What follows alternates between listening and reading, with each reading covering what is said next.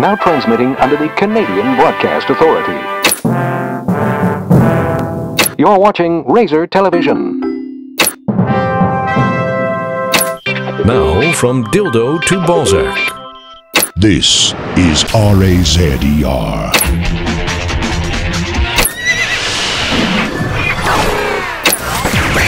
Testing on animals.